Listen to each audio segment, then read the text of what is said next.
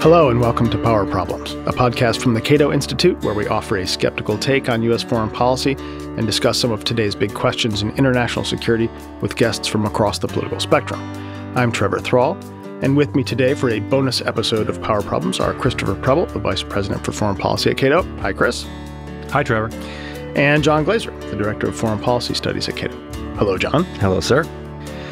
If you're a foreign policy watcher and you've been having a hard time keeping up with all the news coming out of Washington these days, join the club. There's been a lot of stuff going on. Obviously, there's all the impeachment drama with uh, connections to Ukraine and Australia, China, I don't know, the Vatican, Russia, the list goes on. Um, we've been watching uh, the U.S. and Iran play a dangerous game of, uh, I know, drone footsies and other things as tensions mount uh, over the nuclear deal there. Uh, we've watched Trump's talks uh, with North Korea and in, I think the word was disgusting failure, the North Koreans used. Uh, and then most recently, there's been um, just a massive bipartisan re- uh, revolt at Trump's declaration that he's going to remove U.S. forces from Syria and basically allow Turkey a free pass at the Kurds. It seems like every day there's something making people crazy. And yet, if you, as I think those of us here in the building like to do, if we look below the surface craziness, um, you'll notice that even though Trump himself is an unprecedented sort of person, um, there's still a lot of unfortunate consistency in American foreign policy. I think that's a real puzzle. You know, if only someone had written a book that could provide some deep insight into why Trump behaves this way, and that could help explain why his foreign policies look the way they do. Ah, just kidding. Uh, we did write that book, um, and we're all here today. all of us here today. we're all here to talk about it. Uh, in, addition, in addition to being my erstwhile colleagues, John, Chris, and I are the co-authors of a newly published book called "Fuel to the Fire: How Trump Made America's Broken Foreign Policy Even Worse, and How We Can Recover."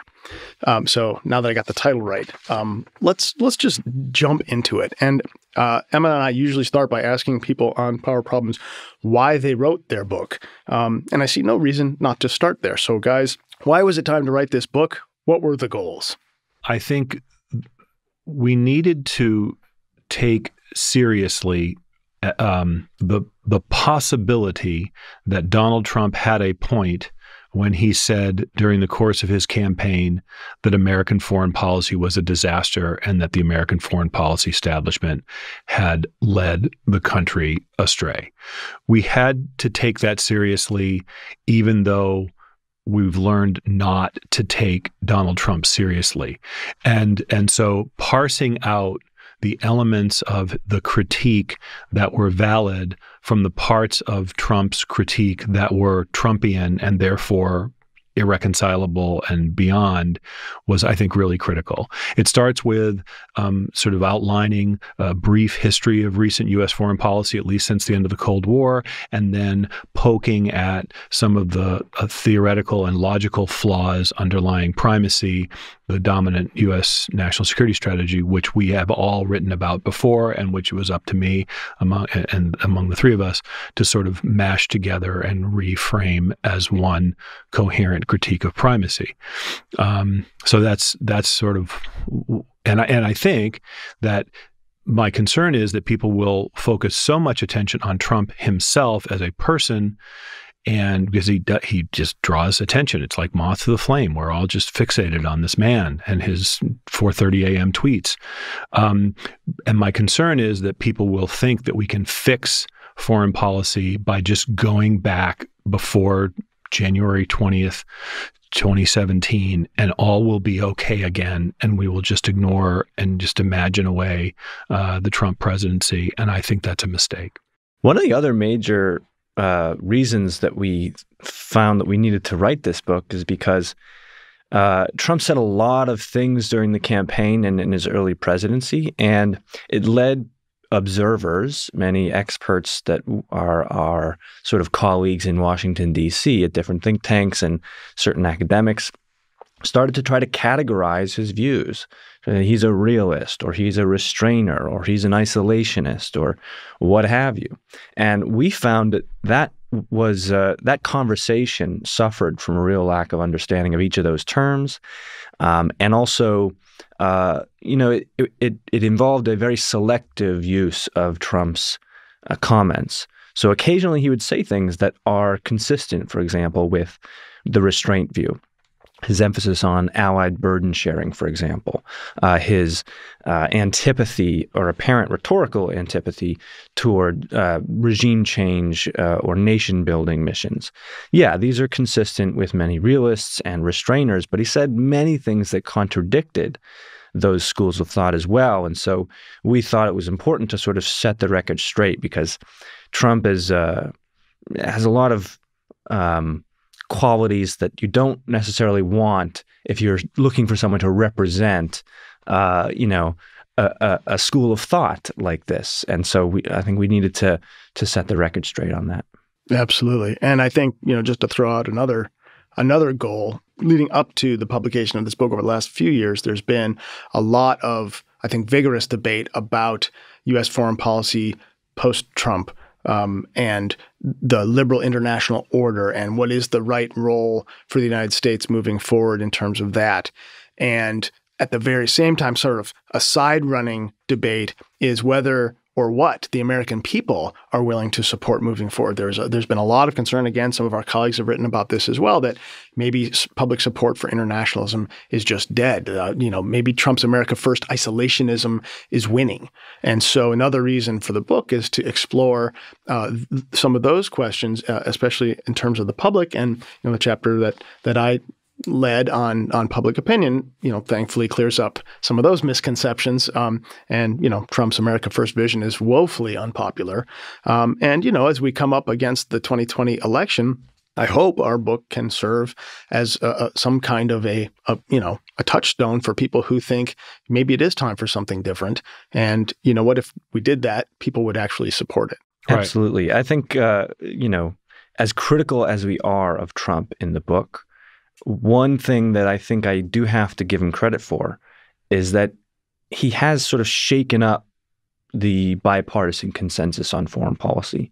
He's such a kind of turbulent uh, force in American politics that he seems to have sort of shaken loose the the hard consensus where now you have really a, a, a an engaged elite debate on grand strategy, which just was not happening, I think, in a, in a comprehensive way before Trump. And in fact, part of the reason why that is, is because of the durability and of the bipartisan consensus was the argument had always been made that no one even remotely like Trump could espouse the views that he did and get elected. And and for a long time that seemed correct. I mean George McGovern lost 49 states or something like that. So so that you know the, those sorts of arguments that the United States should be less involved militarily abroad, should call on allies to do more uh, in the past those adopting those kinds of positions seem to sort of you know render a person unelectable. Well, obviously that didn't happen in the case of Donald Trump. He famously criticized a Republican president's war in a Republican primary in South Carolina and won the primary anyway. So it it did shake I think, people to their senses. And it revealed something that we had all known for some time, which is this undercurrent of dissatisfaction among the American people with the course of U.S. foreign policy. And that undercurrent, though, not having been served in the past by any major political figure. And, and Trump, uh, I think, in many respects, inadvertently or just sort of sort of fell backwards into it, sort of tapped into this sentiment, which suggests that someone else. Uh, uh, without all of his baggage and his his foibles and, and flaws, uh, could also tap into that same public sentiment. Yeah.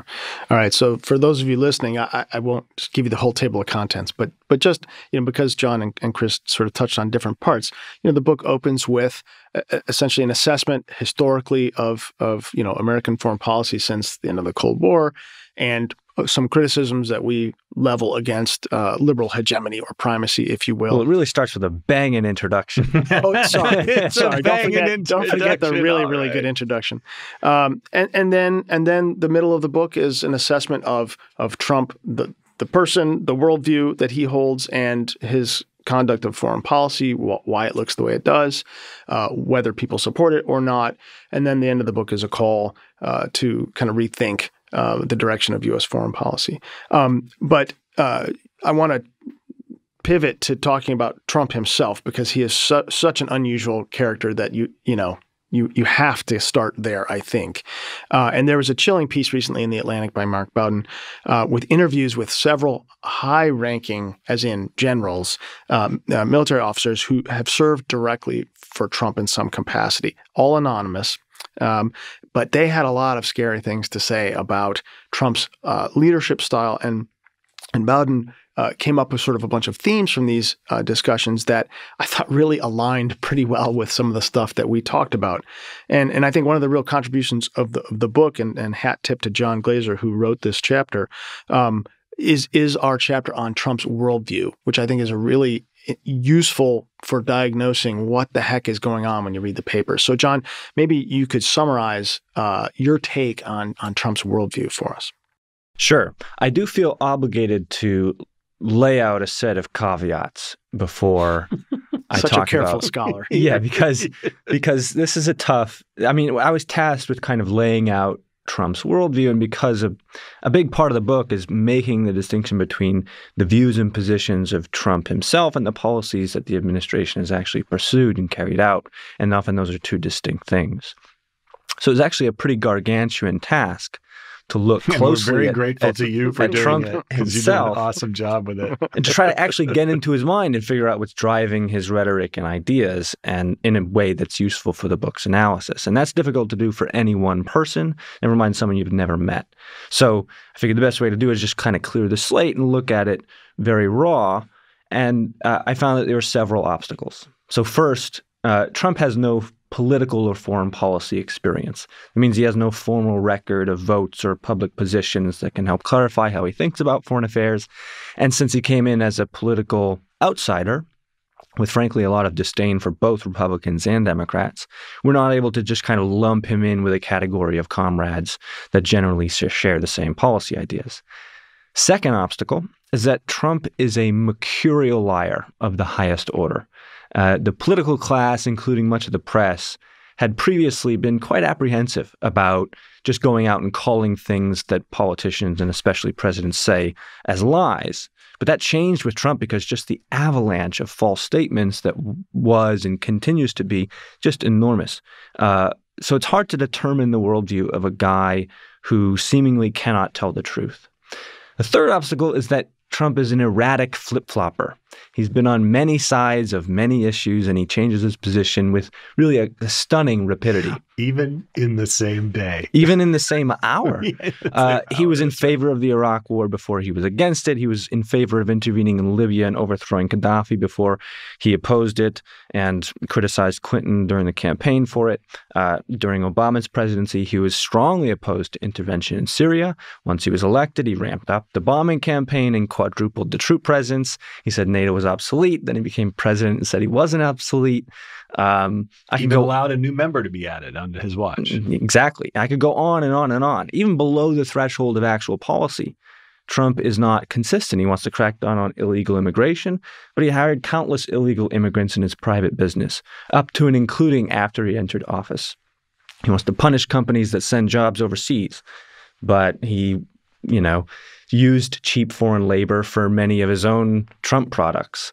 Uh, so it's just endless. So again, it's very difficult to determine the worldview of someone who is not consistent about the worldview. Fourth problem many informed analyses that I came across uh, simply claimed that Trump has no worldview. So he certainly has views. He's not some kind of ideological empty vessel, but he doesn't seem to have a holistic view of how the world works or any kind of coherent framework about foreign affairs and, and how the United States should act in that sphere. Uh, and he engages in a lot of ad hoc freelancing and kind of improvisation. And so we should be careful about trying to impose intellectual coherence on that. And finally, I'll make this one very brief. There's good reason to believe that Trump suffers from some cognitive or psychological impairments. And so, assuming that he has actually a sort of well developed theory of the world and America's place in it is probably a mistake, and I'll just leave it at that. So, with all those caveats, I came up with four frames that kind of do a decent job of explaining and diagnosing Trump's impulses, his inclinations, and his policies. Um, And for data, I really just relied on a compilation of virtually all of Trump's public statements from 1980 to today, as well as his policy statements during the campaign and, and then in his time as office. So, four frames. One, zero sum transactionalism. That's not super new. Uh, many people have noted that about Trump. It shows up in his uh, trade policy. Uh, he he doesn't. He seems to believe in a fixed economic pie, and trade is the mechanism by which countries fight over that over their share. Uh, that's a misunderstanding of basic economics, but nevertheless, that's his view. Um, he also uh, this sort of transactionalism and zero sum uh, thing comes up with his one of his most consistent policy positions, which is allied burden sharing. He doesn't believe that there can be mutually beneficial, or even or even that there should be trade offs between um, you know how much we pay for a possibly dependent security relationship and maybe the the strategic gains that we might get from that. I mean, we don't buy that argument, but nevertheless, uh, he focuses on the expense and the unfair uh, burden sharing. And then also, if you think about this, also bleeds into security. So when he was talking about, uh, he, he, was insistent on uh, keeping our relationship with Saudi Arabia going, continuing to support the Yemen uh, air campaign. Um, and he even vetoed two efforts by Congress to to stop that. Um, and w- his reasoning was, well, they buy a lot of arms sales from us, and it creates jobs. You know, never mind the fact that I think, uh, you know, uh, U.S. jobs tied to arms sales represent less than two tenths of one percent of the labor force. You know, still that's it's a pretty a really, really important two tenths yeah. of one percent. But that that's a pretty starkly transactional view of things that you can sacrifice strategic concerns and humanitarian concerns just because, hey, we got this deal and they're buying our arms. Uh, the next frame is Jacksonianism. I won't go into it too much, but if you read uh, Walter Russell Mead's 2001 book, Special Providence, he lays out a typology of different um, traditions in U.S. foreign policy, and one of them is Jacksonian, and it is really uncanny in terms of its a description of, of what President Trump would, would, would become in later years. Um, uh, it's very consistent, and it helps explain you know, his antipathy to international organizations and globalist institutions, quote unquote, his preference for unilateralism, his loosening of the rules of engagement with regard to the bombing campaign against ISIS, his disinclination to actively promote democracy and human rights abroad, and so forth. A third frame is. Can I just say, sure. and with no evidence that Pre- President Trump had ever read Walter Russell Mead's book, he nevertheless embraced this notion of himself as Jacksonian, putting you know putting a picture of Andrew Jackson famously, I guess, that's in, right. in the Oval Office. So, so part of that was yeah. Bannon. Yeah, Bannon. Bannon right, apparently called Wal- Walter Russell Mead on the phone to talk about this Jacksonian typology because he thought it was not only a good fit for Trump, but but flattering. And Bannon reads and Trump doesn't. So, but anyways, he yes, uh, Trump has embraced this uh, comparison to to, to Jackson. Um, the third frame is a, is is Trump's fixation on status and reputation. Uh, this has driven many features of his life, his campaign, his presidency. Um, I read this uh, piece by the New York Times' Michael Barbaro, who uh, listened to hours and hours and hours of recorded interviews with Trump that was conducted by his biographer in the early 2000s. And Barbaro said Trump's deep seated fear of public embarrassment is his most powerful driving force. The recordings reveal a man who is fixated on his own celebrity and anxious about losing his status. I thought also of when Michael Cohen, Trump's personal fixer and, and lawyer formerly, uh, testified to Congress. Now, now convicted felon. Yeah, now in jail. uh, uh, he directed Michael Cohen to hire someone to pose as a fake bidder at an art auction that was selling a portrait of Trump. Trump took $60,000 from his charity organization, the Trump Foundation, in order to pay the fake bidder to purchase the portrait of his likeness, all just to make it known that this was in high demand. Yeah, uh, that and, that represents, and, I think, and more tragically, the entire impeachment drama yes. is driven by his attempt to re-litigate and un-besmirch himself from the Russia investigation. Right. Yeah, so Right. to tease that out a little more, Yeah. his main motivation is this basically conspiracy theory that uh, it was not Russia who intervened in the 2016 election. It was actually Ukraine on behalf of Hillary Clinton. So this reversal projection effort is really at the root of his motivation here, and it's might become the undoing of his presidency. Um, and it was all an attempt to kind of recoup his his status and his legitimacy as a political uh, figure. Finally, uh, the fourth frame is what I call the authoritarian mind. Uh, Trump has unusually authoritarian inclinations by the standards of contemporary U.S. political culture. He demands loyalty from officials in federal departments that are supposed to be independent and nonpartisan. He's repeatedly attacked federal courts as illegitimate, leveled ad hominem attacks against judges who overrule his executive orders, vilifies the press as the enemy of the people, calls his political opponents traitors, and so on. And political scientists have been studying authoritarian personality traits for decades. And it turns out they tend to share important psychological habits and decision-making styles. And, you know, they have difficulty engaging in critical thinking. This is part of what um, uh, was in the Bowden article. One of the key quotes from that article, from, from, from the Bowden Atlantic article is, quote, Trump resents advice and instruction. He likes to be agreed with. Efforts to broaden his understanding irritate him, which gives a sense of what it might be like inside the Situation Room when they're discussing uh, security issues. Um, and so, you know, the authoritarian types tend to suppress an open and deliberative decision making process. And so, using these four frames, it's turned out to be um, enlightening in terms of uh, making sense out of Trump's foreign policy inclinations. Yeah, no, absolutely. So, but one of the things that that that really puts us right to the puzzle of how can someone that different, let's just say, who espouse such radically critical sort of arguments about UN foreign, U.S. foreign policy on the campaign trail, how come so little of Trump's foreign policy is actually that much different? Right. So I'll I'll take a stab at this. I think we're all sort of speculating, but one explanation is that the president did not actually hold very strongly to any of the utterances that he made on the campaign trail. John's already alluded to this that he does not have strongly held opinions. They do change uh, regularly, routinely in response not to arguments so much as a perception of how it how it pertains to his reputation and his his personal prestige. So so it could just be that he just wasn't all that committed to doing what he said he was going to do, and therefore, when he met any resistance whatsoever, he just sort of relented.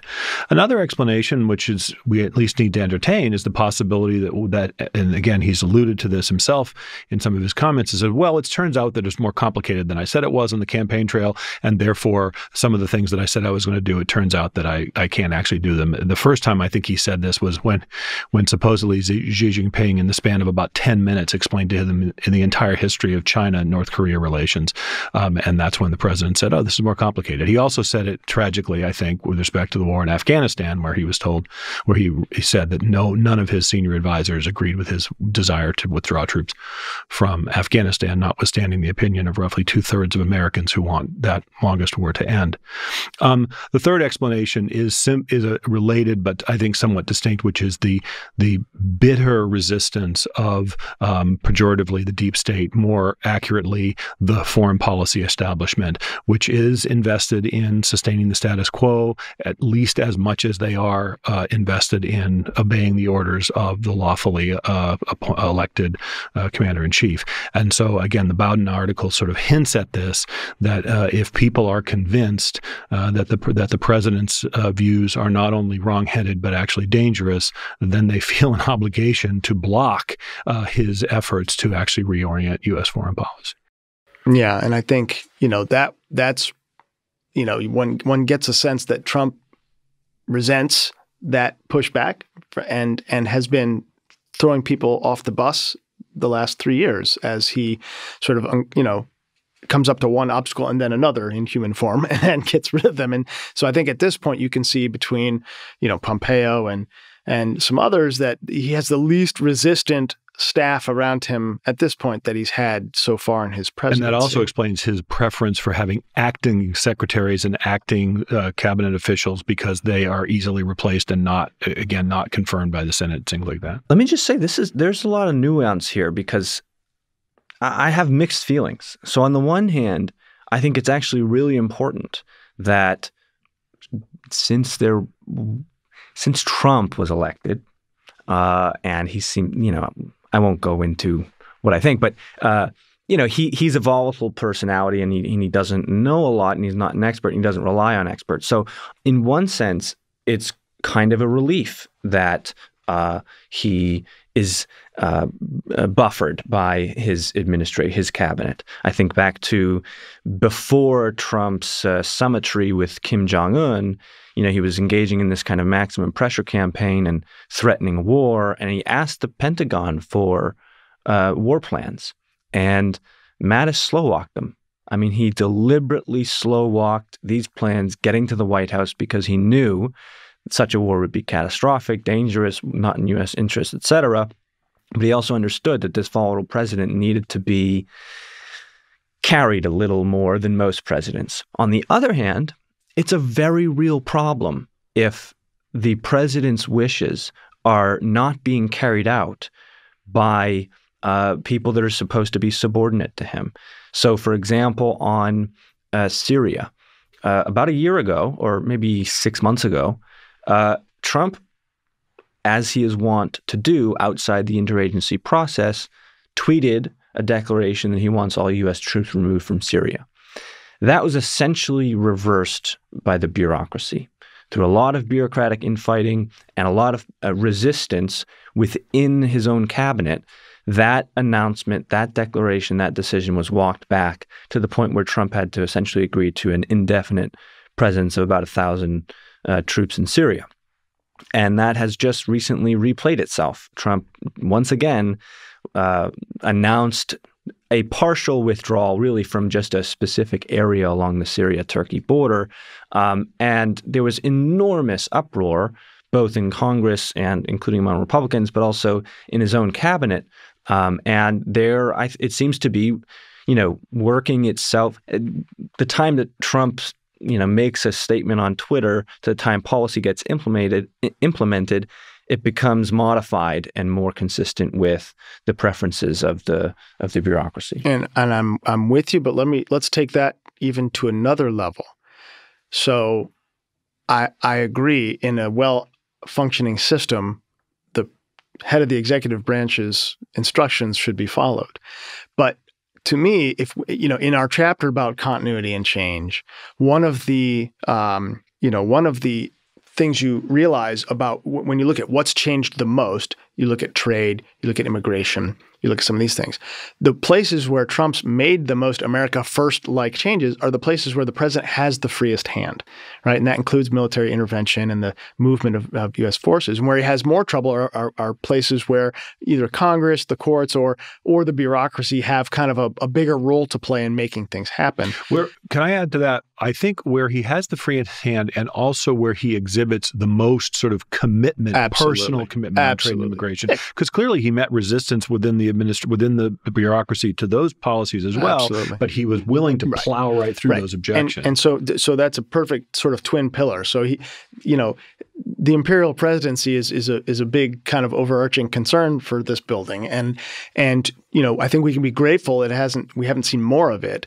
Um, but to me, the idea that that Trump should be in a position where you have to be upset that he's not being obeyed, like he has no there's.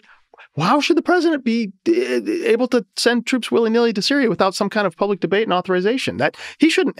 We shouldn't be having that conversation, John, because there shouldn't be any U.S. troops in Syria. That's fair enough. I, this is my frustration with particularly Republicans in Congress, but Congress in general, both Democrats and Republicans, and their uproar over Trump's announcement to withdraw.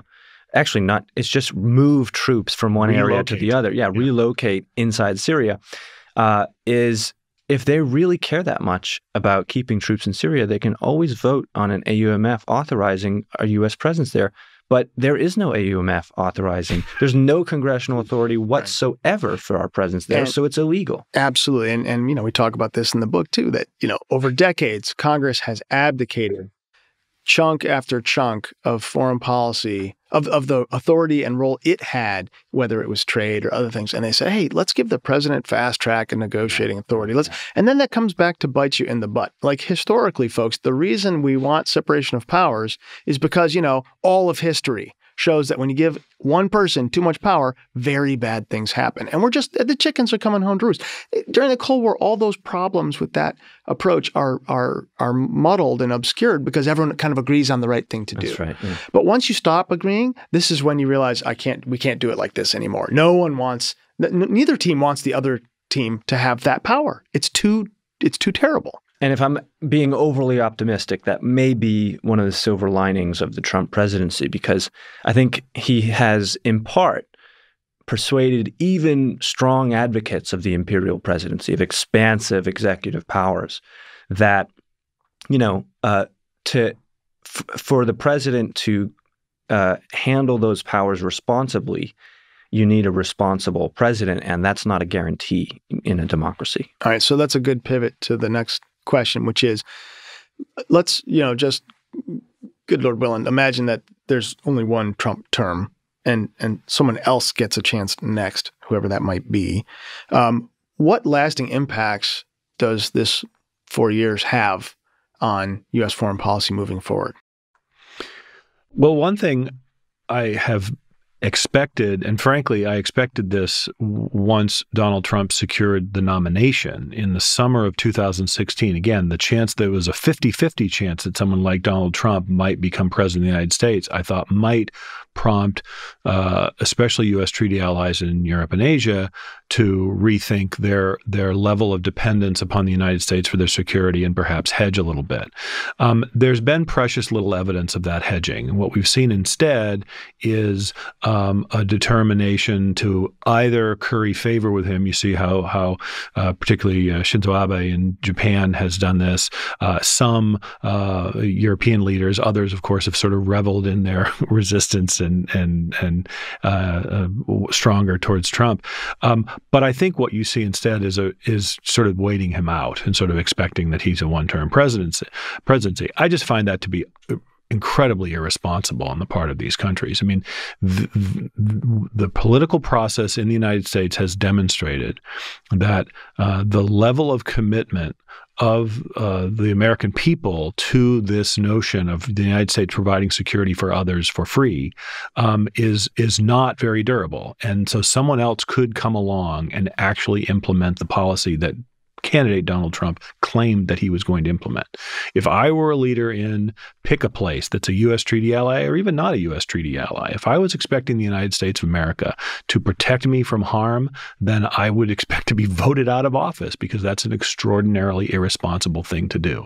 We haven't seen that kind of response so far, in part because I think they're just hoping against hope uh, that this is all just a bad dream and he's going to go away and then we'll go back to the way it was before.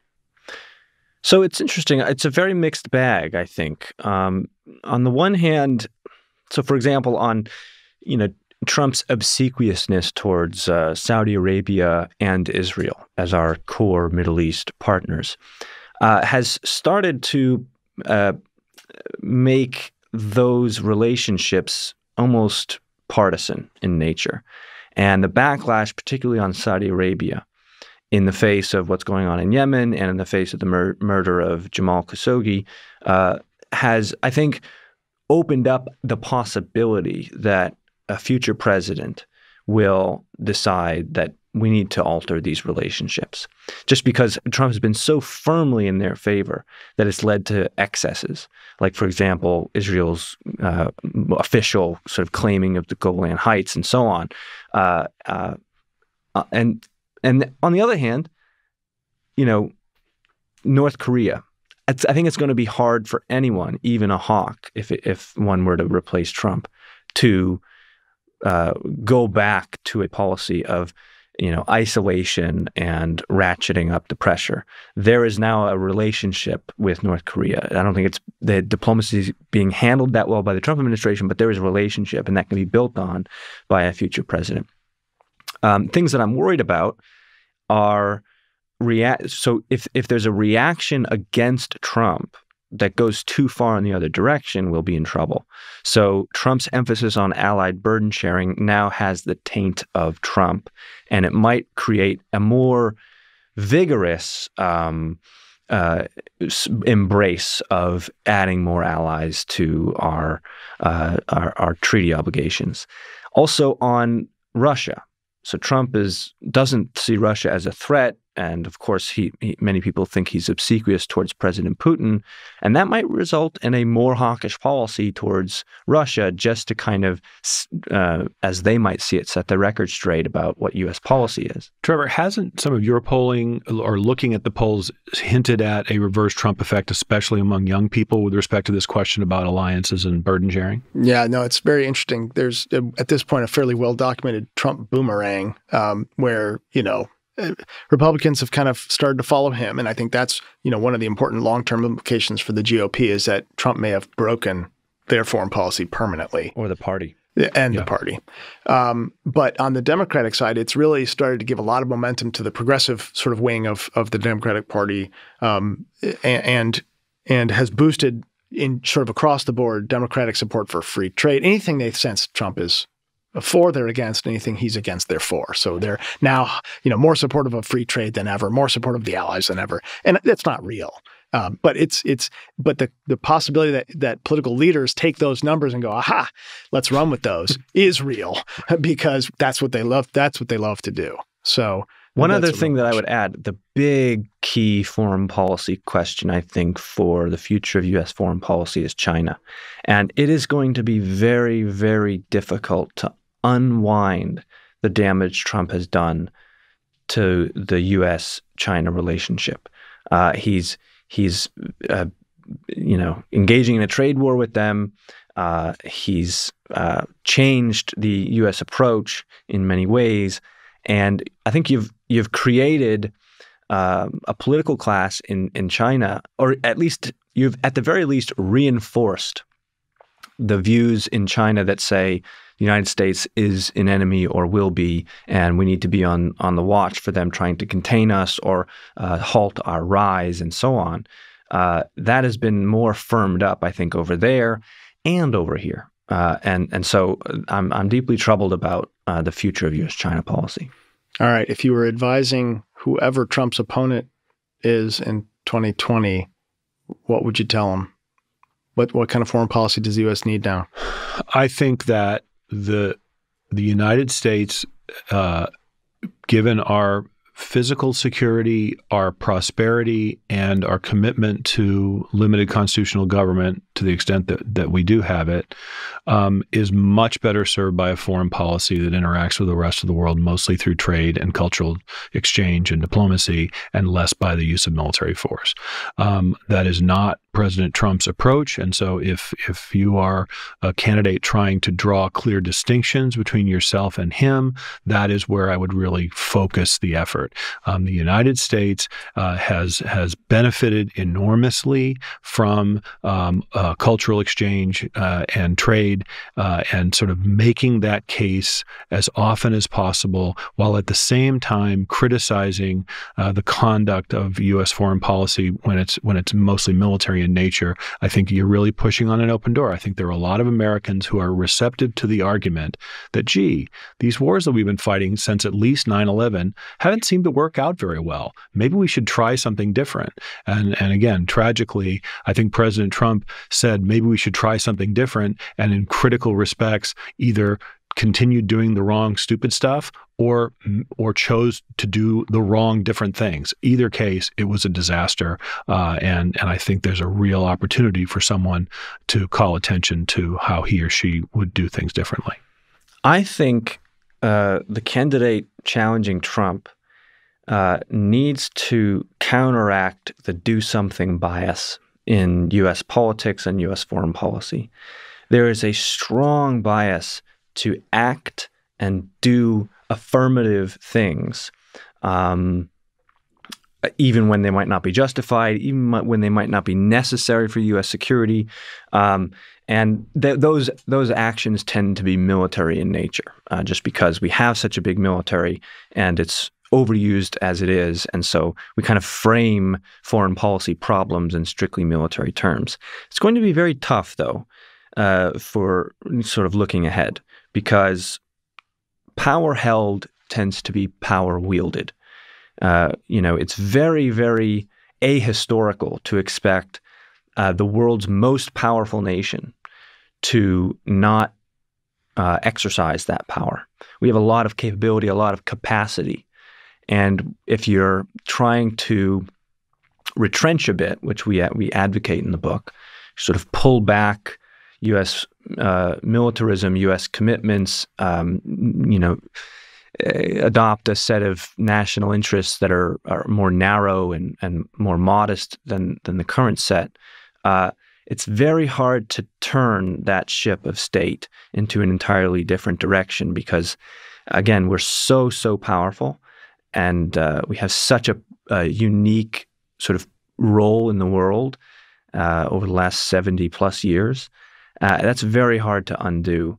And it's very hard for an incoming president who's about to be enthroned with all of that uh, uh, with all of that power to ask them to not exercise it. That takes a certain kind of person uh, and and a lot of self restraint. And I don't know. I don't know if we'll get that. And not the kind of person, candidly, who runs for office to be president of the United States. Yeah. Um, you know, I'm reminded of, of Gandalf, who said that he would try to use the ring for good, but through me it would do great evil. Uh, maybe the presidency is, is like the One Ring. All right, on that note, guys, thanks for a fantastic conversation. It's a great book, folks. Uh, get it on Amazon. Uh, Google us on Cato. Look at our fantastic webpage uh, dedicated to the book. Uh, thanks to our producers, uh, Cecil Sherman and Luis Abrigo, and to everyone for listening. To continue the conversation on Twitter, you can find us at, at Power Problems. And if you like the show, please leave us a good review on iTunes or wherever you find your podcasts.